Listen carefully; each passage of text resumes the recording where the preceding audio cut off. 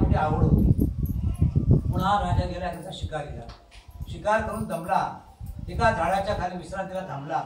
समोर गवळी लोकांची वस्ती होती. तो दिवस होता श्रावण शुद्ध पौर्णिमा म्हणजे राखी पौर्णिमेचा दिवस. या दिवशी सगळे गवळी लोक एकत्र बसून सत्यनाची महापूजा करत तसे पूजेला बसले होते. झाडाखाली बसलेला राजाचं लक्ष काही लागेना त्याची शिकार दमला. असल्यामुळे तर डुलकी येत होती. म्हणून तो झाडाखाली विश्रांती घेऊन थांबला. गोळी लोकांचं लक्ष गेलं की हा तर राजा बसलाय. मग आपल्या वस्तीत कसं येणार? आपली गरिबाची वस्ती आहे. चला आपणच त्याला प्रसाद देऊन द्यावा. म्हणून एका धोरणात प्रसाद घेतला राजाला मुद्रा केला राजापुढे प्रसाद ठेवला. मुद्रा करून तो गवळी आपापल्या वस्तीत परत आला राजाची विश्रांती संपली.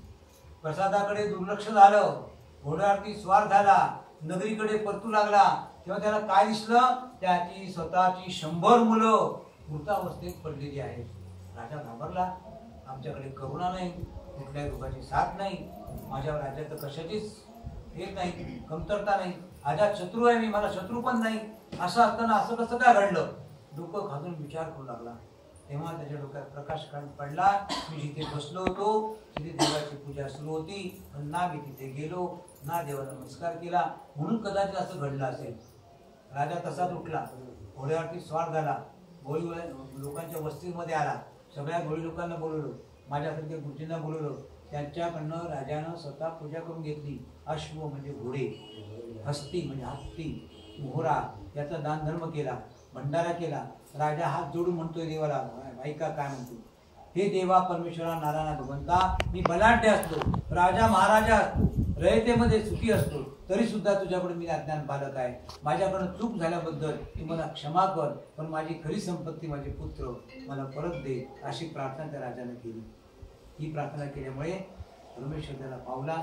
त्यांनी सगळा तीर्थप्रसाद घेतला घरी येऊन पाहतो. त्याची शंभर मुलं त्याला जिवंत अवस्थेत दिसली. तेव्हापासून तो चंद्रचूड राजा त्याची शंभर मुलं त्याची सारी प्रजा आपापल्या घरी यश लाभ कीर्ती जय विजय प्राप्त व्हावा म्हणून मनातल्या इच्छा पूर्ण व्हाव्या म्हणून व्यवसायाला व्यवसाय चालावा शेतकऱ्याला शेती चांगली पिकावी नोकरीमध्ये पदोन्नती मिळावी याला ज्या ज्या काही ज्या ज्या इच्छा असतील त्या परिपूर्ण व्हाव्यात म्हणून आपापल्या घरी पौर्णिमेला म्हणा संक्रांती म्हणा वर्षातून एकदा कवीना मी या देवाची पूजा करू लागली.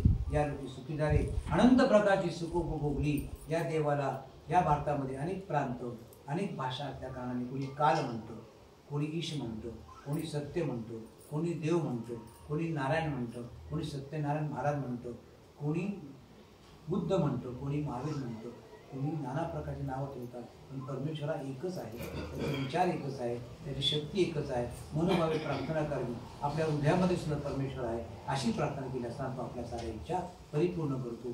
तशाच प्रकारची इच्छा सोनरी कुटुंबाने जन्माला विनीतराव त्यांची धर्मपत्नी सौभाग्यवती मानसिक आई यांचं उभयताचं वैवाहिक जीवन सुखी समृद्ध भरभराटी जाऊ तुमच्या निमित्तानं जी मंडळी या ठिकाणी बसली आहे त्यांच्या मनात आत्ता जे काही विचार चालू आहेत भगवंतांना ऐकावे त्यांच्या साऱ्या इच्छा पूर्ण कराव्यात. इतिश्री देवाखंडे सत्यनाम पंचमो ध्याया श्रीराम